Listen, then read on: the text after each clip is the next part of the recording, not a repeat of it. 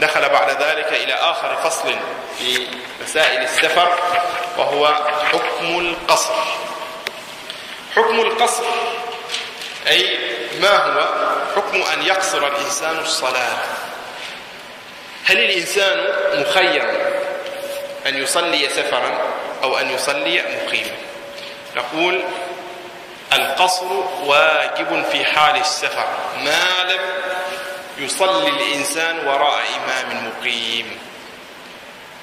القصر واجب في السفر ومن صلى صلاة في السفر صلاها وهو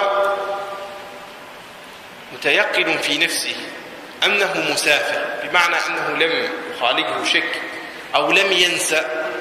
إنما تذكر أنه في حال السفر ونواها أربع ركعات فإن صلاته تبطل بذلك. فإن صلاته تبطل بذلك. لماذا؟ لأن القصر في السفر ما لم يكن وراء إمام مقيم حكمه واجب. ومن أين جئنا بحكم الوجوب؟ لقصر الصلاة في حال السفر أتينا به من سنة النبي صلى الله عليه وسلم. وقد عبره المصنف عبر المصنف هنا بأبيات ليستدل عن هذا وهي قمة في الروعة. يقول رحمه الله تعالى عن حكم السفر وفعله عن حكم القصر وفعله أي والقصر في السفر. قصر الرباعية إلى ركعتين. يقول وفعله يلزم من قد سفر ولم يكن في ذلك مخيرا. أي أن الأمر ليس راجعا إلى اختياري وإلى اصطفائي. أنا الآن مقيم وغير جاد في السفر. ولله الحمد الأمور كلها في راحة وطمأنينة وسكينة. لذلك سأصلي أربع ركعات. وسأزيد ركعتين. لماذا أزيد ركعتين حتى يزيد أجري؟ قد تحدث الإنسان قد تحدث الإنسان نفسه بهذا. ومن هنا ماذا يقال؟ قالوا له لا الأمر ليس إليك بل يجب عليك أن تقصر. لماذا؟ يقول لو كان بالتخيير كان الأمر بالخيار إليك أن تصلي أربع ركعات أو أن تصلي ركعتين ما لم تصلي خلف إمام مقيم يقول لو كان بالتخيير كان المصطفى أسبقنا إلى التمام والوفاء. كانت المسألة مسألة كسب أجر بزيادة ركعتين. كان محمد صلى الله عليه وسلم وأصحابه من بعده أولى منك بأن يحرصوا على كسب الأجر. لو كان بالتخيير كان المصطفى أسبقنا إلى التمام والوفاء ولم يتم أبدا في سفره. كل الروايات التي جاءت عن النبي صلى الله عليه وسلم كلها تقول إنه ما أتم في السفر ولا مرة واحدة بل كان يقصر الصلاة. ويوم, ويوم فتح مكة كان يصلي بالناس ركعتين ويقول لهم أتموا صلاتكم. يأمرهم بأن يتموا الركعتين متبقيتين. ولو كان الأمر في الخيار لا صلى بهم صلى الله عليه وسلم أربع ركعات وهذا يدلنا على هذا الأمر. والحديث الذي جاء فيه أن هنالك من الصحابة من أتم في السفر ولم ينكر عليه النبي صلى الله عليه وسلم هذا الحديث ضعيف لا يصح. والمتفق عليه عند العلماء أن النبي صلى الله عليه وسلم ما أتم في السفر على الإطلاق لم يتم قط صلى الله عليه وسلم في سفر. لذلك فاستدلال المصنف هنا في محله. لو كان الأمر جائزا لأتم ولو مرة واحدة لأنه لم يتم صلى الله عليه وسلم. والظاهر أن الصحابة مجتمعون على هذا الرأي هو رأي القصر في السفر. ودليل ذلك أن أبا بكر وعمر وعثمان في أول خلافته كانوا يصلون. في عرفة الظهر والعصر ركعتين ركعتين. وعثمان في الشطر الثاني من خلافته صلاهما صلى تماما في عرفة. فأنكر الصحابة عليه ذلك. أنكروا عليه. لماذا تصلي تماما؟ ولو كانت الصلاة تماما لصلاها من هو خير منك؟ هكذا قالوا. ومن هو؟ النبي صلى الله عليه وسلم وأبو بكر وعمر. ولا صلوها تماما.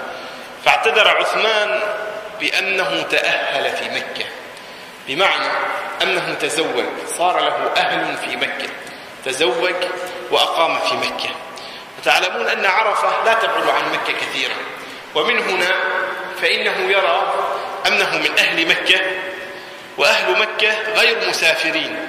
في عرفة فأتم الصلاة هناك أربع ركعات. بهذا اعتذر عثمان بن عفان وابن عمر رضي الله عنهما قال بأنه ليت لي من هذه الأربع ركعات ركعتين.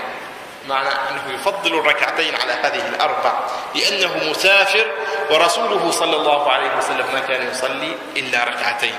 ومن هنا يتبين أن هذا الرأي هو الرأي الصحيح الصواب. فضلا عن الأدلة الأخرى كما في حديث عائشة رضي الله عنها أنها قالت فرضت الصلاة ركعتين ركعتين فزيد في الحضر وأقرت في السفر. معنى أنها قد فرضت في السفر ركعتين ركعتين. هي مفروضة في السفر ركعتين ركعتين. وكل من صلاها على غير فرضها الأصلي فإن حكمه من غير شك سيكون أنه خالف الأمر الشرعي ويحمل عليه قوله صلى الله عليه وسلم من عمل عملا ليس عليه أمرنا فهو رد. لذلك قال علماؤنا لهذه الأدلة قال علماؤنا إن القصر في السفر أمر واجب وكل من أتم صلاة في سفر ولم يكن مصليا خلف إمام مقيم فإن صلاته تبطل بذلك. لكن قد يحرم الإنسان ويدخل الصلاة وفي نفسه أنه يريد أن يصلي ركعتين. يدخل الصلاة بركعتين لأنه مسافر ولكن يسهو ويصلي أربع ركعات بعد ذلك. فما الحكم في مثل هذا؟ نقول إنما الأعمال بالنيات فنيته ركعتان. والركعتان اللتان أضافهما على الركعتين الأوليين هما ركعتا سهو. كان منشأهما السهو ولم يحرم بهما. ومن هنا فإن عليه أن يسجد سجدتي السهو بعد السلام وصلاته صحيحة. لكن إن أحرم من أول الأمر من تكبيرة الإحرام نوى أنه يريد أن يصلي أربع ركعات فإنه تبطل صلاته بهذه النية والله أعلم. يقول فمن أتم وهو في حال السفر عليه أن يبدلها قولا شهر وبعضهم ألزمه يكفرا لأنه خالف ما قد أمرا بمعنى أن من صلى في السفر أربع ركعات وخرج الوقت على أربع ركعات فإنه يلزم على بعض على رأي بعض أهل العلم بأن يكفر. كفارة مغلظة بأن يصوم شهرين متتابعين أو أن يطعم ستين مسكينا أو أن يعتق رقبة. هذه هي الكفارة المغلظة. والأصل في هذه المسألة هو مسألة هي مسألة يذكرها الفقهاء وهي من فوت الصلاة حتى خرج وقتها فهل يلزم بالكفارة أو تلزمه التوبة فقط؟ التوبة لازمة من غير شك. أما الكفارة فاختلف فيها. المتقدمون من علمائنا على أن عليه أن يكفر كفارة مغلظة وهي عتق رقبة أو صيام شهرين متتابعين أو إطعام ستين مسكينا. إلا أن الفتوى الآن على أنه لا تلزمه كفارة وهذا الرأي الذي ذكره المصنف وبعضهم ألزمه يكفر لأنه خالف ما قد أمر مبني على الرأي الذي يقول إن فات وقت الصلاة ولم يؤدها الإنسان فإن عليه كفارة مغلظة. وهذا الإنسان قد صلى في السفر تماما من غير مسوغ شرعي فإنه في مثل هذا الحال يلزمه. يكون قد نقض صلاته متعمدا وخرج الوقت قبل أن يقضيها ومن هنا تلزمه كفارة مغلظة. والله أعلم. وقيل قد أسى وما عليه شيء ولكن لا يعد إليه. وذاك أنه أتم اللازم وزاد بعده فكان سالما.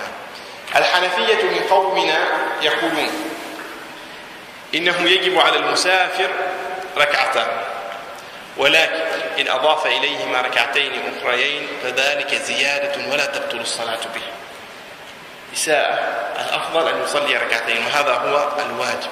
لكن إن زاد ركعتين أخريين فذلك زيادة في الفعل ولا شيء عليه هو أساء في التصرف ولكنها زيادة وليست نقصانا.